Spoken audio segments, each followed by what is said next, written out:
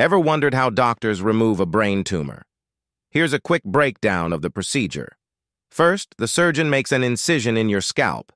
Then they create a few small holes in your skull. These holes are connected to make a circular piece of bone called a bone flap, which is carefully removed.